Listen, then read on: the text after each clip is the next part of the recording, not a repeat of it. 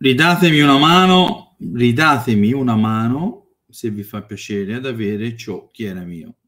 Non per nulla questo canale aveva quasi il doppio degli iscritti, bla bla bla bla bla bla. Sapete, sono dovuto ricominciare, ho ricominciato da capo.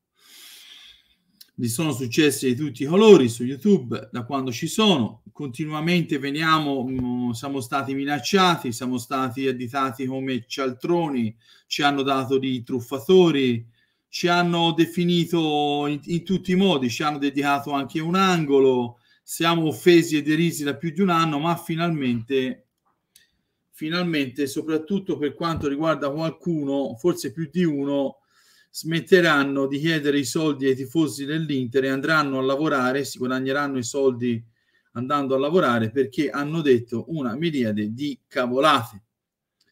Vi, vi ricordo a Zanghera doppia, vi ricordo a Digital Beats tutto a posto, vi ricordo mercati da 9, mercato da 11, ti volevano far passare per un fuoriclasse eh, a Scerbi, anche se ora perché ha giocato bene una partita a Scerbi contro una formazione dove io da fermo potrei comunque risultare pericoloso in area come Boa, come ti pare, ma comunque potrei risultare pericoloso in area io contro quella squadra che ha giocato l'Inter l'altra sera perché le partite dove ti devi misurare sono altre. Non per nulla, ragazzi, parliamoci chiaro.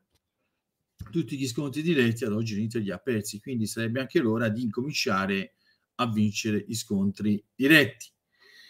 Lascia perdere i giapponesi, ti ho detto. Questo è un consiglio che ti do io, ma che ti vorrebbero dare migliaia di persone.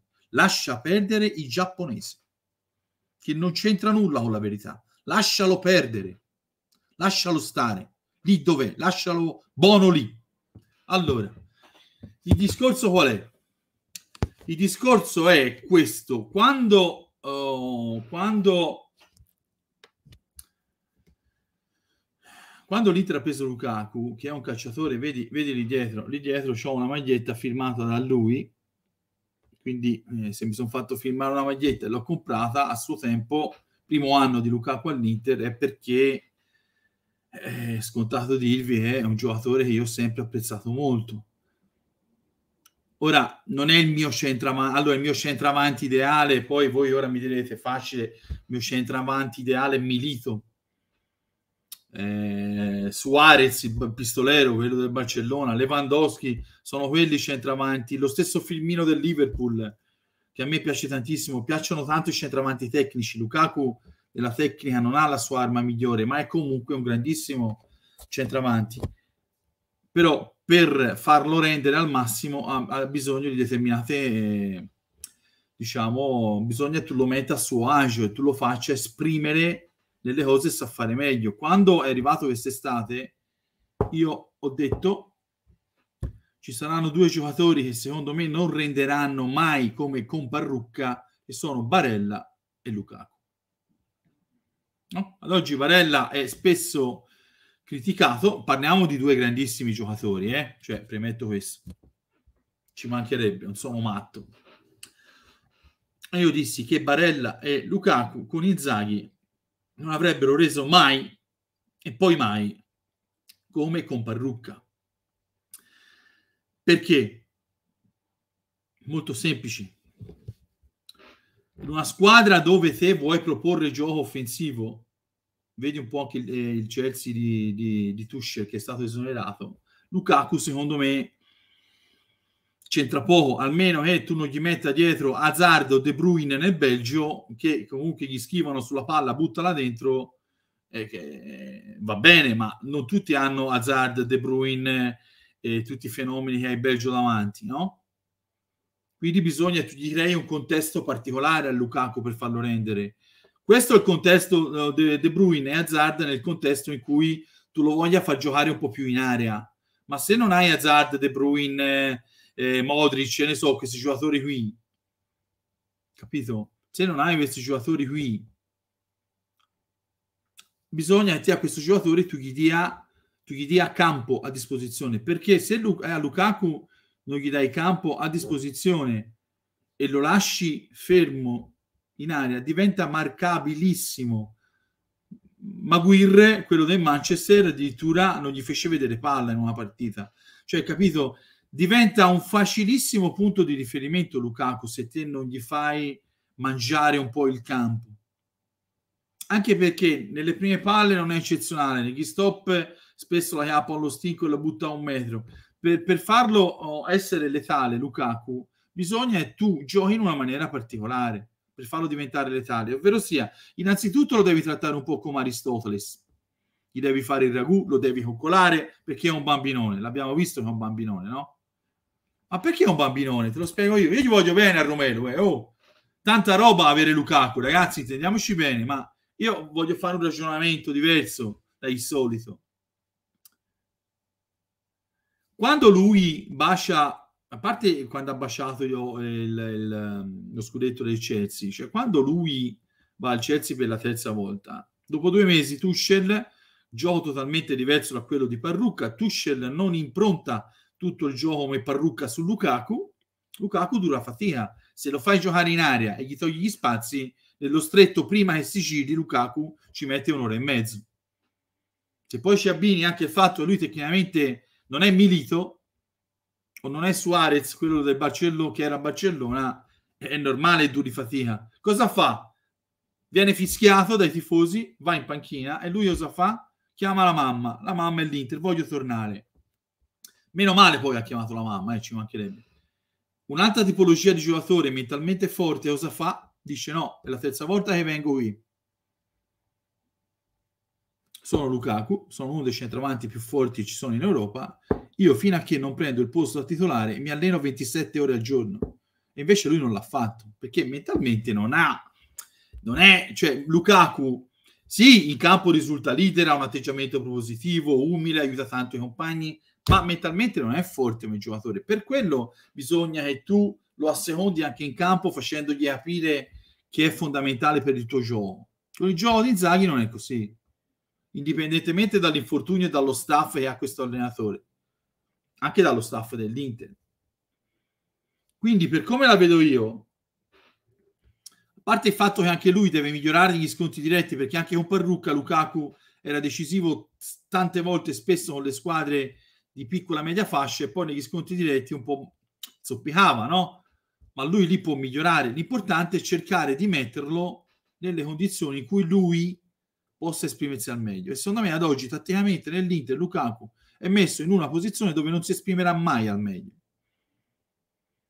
Perché tocca, tocca in quel gioco là, lui è sempre fuori dal gioco, tocca poi i palloni e poi i palloni che tocca li deve buttare dentro. Non c'è De Bruyne e Hazard, ma c'è Danfries e sulla sinistra non si sa ancora chi, chi è il titolare perché Gosens è quello che è e, e, hai degli esterni che non saltano l'uomo e che poi, tra virgolette, riforniscono pochissimo l'area a un cross. Perché se non salti l'uomo, crossi, almeno tu crossi dalla tre quarti molto semplici giochini. Ecco quali sono i miei dubbi su Lukaku. Quali erano prima che cominciasse la stagione e, que- e quelli sono oggi. Questo è il mio punto di vista. Non ho la sfera di cristallo. Questo è solo ed esclusivamente il mio punto di vista. Poi passiamo a Barellino. Anche di Barellino dissi la stessa cosa. Grande giocatore Barella, ci mancherebbe. Però con Inzaghi, sempre cose dette a giugno, non renderà mai come con Parrucca. Perché? Perché Barella, laddove, laddove, viene, laddove viene richiesta un po' di pulizia di palla, un po', un po di pulizia di palla, dove un po' viene richiesta pulizia di palla, pulizia di passaggio, lettura tattica, perché questo ti chiede Inzaghi al centrocampo, lui dura fatica. Dura fatica lui dura molto a fatica. Perché lui è perfetto non per chi fa un gioco propositivo, ma eh, Barella è perfetto per chi fa un gioco speculare. Ed è lì, nel gioco speculare, che le sue fiammate fanno paura. Capito? Perché Barella è un grandissimo portatore di palla, da punto A a punto B. Ti porta la palla a 200 all'ora, ti ribalta l'azione, nel gioco di Zaghi viene richiesta lettura di palla, pulizia di passaggio, sì, pulizia di passaggio, pulizia eh, pulizia proprio della palla quando viene riconquistata e lettura tattica. Lui lì dura fatica, però in, in, in, nel gioco, non per prendere sempre Parrucca ma, di riferimento, ma lo devo prendere. Il gioco di Parrucca è un top player, eh, Barella. Nell'Inter non gioca da top player, gioca da grande giocatore. Capito? Poi, anche Inzaghi, Barellino, ha questi sprazzi di classe come parlavo prima con mio amico Michele, indipendentemente dalla fatica che a volte dura durante la partita, che manda tutto in contraddizione. Perché poi Barella ha questi lampi di classe, tipo l'assist che ha fatto a Brozovic. Cioè, quello è un assist da un trequartista con due ball sotto in questa maniera. Cioè, telecomandata quella palla eccezionale che ha dato a Brozovic contro il Torino. Cioè, quelli sono gli sprazzi di classe poi a Barella che ti manda tutto in contraddizione. Però è molto più forte in una squadra che gioca in maniera speculare, non in una, gio- in una squadra che ha un atteggiamento positivo, che fraseggia a centrocampo, che deve verticalizzare, che vengano richieste le cose che ho appena detto. Lettura di palla, lettura tattica, eh, passaggio di palla, pulizia di palla, lettura tattica e via discorrendo. Questo è quello che penso io che questi due giocatori, per come la vedo io, indipendentemente, ora piano per rimettere Barella in forma, piano per... Ri... cioè, prima di rimetterli in forma fisicamente, che ci può stare, non sono dei cyborg, no? Soprattutto Barella gioca interrottamente da anni ormai. Conte lo faceva giocare anche con le infiltrazioni contro squadre di media fascia. Di media fascia. Io prima di metterli a posto fisicamente incomincerei a pensare di come farli rendere meglio sul campo a livello tattico, di come poterli mettere meglio a suo agio. Ma questo purtroppo in questo 3-5-2 eh, sì, dove comunque viene, eh, viene espresso un atteggiamento propositivo, ma è un 3-5-2 schematico, è sempre quello poi alla fine. Anche perché a parte Barella per esempio non ha più Hakimi, a volte dura fatica anche Danfis perché se Barella non fa determinate cose dura fatica anche Danfis e, e viceversa. A maggior ragione lascia perdere il giapponese, ti ho detto, lascialo stare. A maggior ragione dove hai una squadra che nessuno è in grado di saltare l'uomo e questa è una roba assurda secondo me. Non ce n'è uno che salti l'uomo. Ecco quello che ti volevo dire. Poi dopo il prossimo video ci avviciniamo all'Udinese e a questo orario che comunque è scandaloso, orario di pranzo, la guarderemo anche all'orario di pranzo, ci mancherebbe, non è una partita semplice. Ecco, questa, questa è un'altra partita complicata dopo la passeggiata della Champions League. Questa è una partita eh, dove subito ti rimisura eh, la febbre.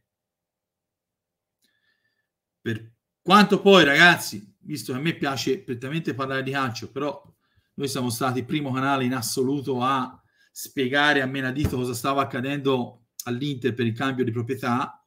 Non siamo stati soli, ma siamo stati, cioè, noi ci siamo distinti soprattutto per le modalità in cui abbiamo spiegato tutto, qualsiasi cosa, poi qualche errore ci può essere stato, ma ragazzi, ma vi rendete conto, cioè in una manovra così devastante quante cose ci sono, quante cose possono accadere. Però quello che, che dico io, a parte te lo ripeto, lasci, io, questo è un consiglio che ti do io, lascia perdere i giapponesi. Questo è un consiglio che mi viene dai profondo del cuore. Ma a parte questo, quello che ti dico io, se tutto il mondo parla di questi arabi, parla di PIF, parla di incontri, cioè non ne parlano gli esonerati, ne parla tutto il mondo. E nessuno parla di americani. Cioè hanno tirato fuori il nome di un indiano americano e c'è una squadra di basket, di basket che ha 900 milioni di patrimonio. Te lo vuoi capire? Te lo vuoi capire che la nuova proprietà per l'Inter ha stanziato 2 miliardi quasi di spesa fra trippole e trappole, come si dice in Toscana? Ti rendi conto che potenza di fuoco serve per acquisire l'Inter? Gli americani te l'avevano già fatto il prezzo per l'Inter, 850 milioni. Era quello il prezzo che avevano fatto gli americani. Nessun fondo ti darà più di 800 milioni.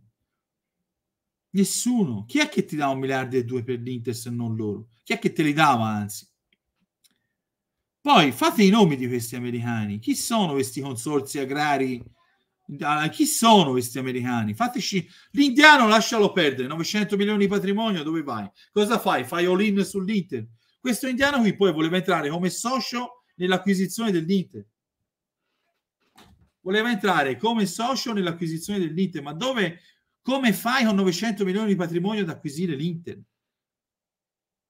Io ti dico da 400 miliardi come, come, come Bin Salman, 430, 440. Ma dove vai con 900 milioni a comprare l'Inter? Fate i nomi di questi americani, chi sono? Chi sono? non li fate i nomi perché non esistono americani. Eppure vi stanno mandando anche dei segnali, no? Ma ragazzi, que- voi, voi non volete, lascia perdere il giapponese, ti dico. Quello lì va lasciato perdere. Capito? Tanto non fa paura a nessuno le sue minacce. Poi vedremo chi chiude dopo. Lascialo perdere i giapponesi. Non esistono americani. Arrivano loro, non esistono americani. Ciao, Vita. Americano.